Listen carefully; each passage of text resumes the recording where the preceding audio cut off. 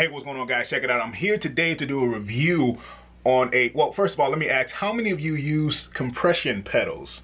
Well, that's what this review is going to be about. Roll the intro.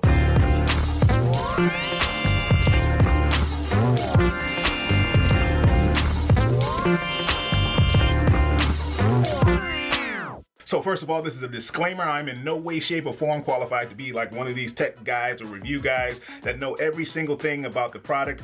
If it sounds good to me, it sounds good to me. I'm just gonna give you guys my honest opinion. I have no idea technically what each knob does, but I can show you exactly how it sounds. So that's what we're gonna be doing today. All right, guys, I don't wanna bore you with too much talk. I'm gonna get right into it. So my friends at Jim Dunlop Guitar Products sent me over this MXR Dynacomp bass compressor pedal. One thing I love about this pedal is the size. You know, I travel a lot, so I'm really considerate about how much I'm taking on with me, and the size is just like nothing. It fits in your hand, as you guys can see. The size of the pedal is crazy. So to be honest with you guys, I'm really not a compressor guy. I really don't use compressor pedals, only because in the past I've used them and they just made my tone and my sound just kind of squish and it really like literally compressed everything and it was so tough and difficult to dial in those knobs. Um, also at the same time, it just affected my dynamics so much to where I just got frustrated. Uh, but with this, it made me want to use a compressor pedal. It was so much easier to use, especially because it has a dry signal where you can dial in.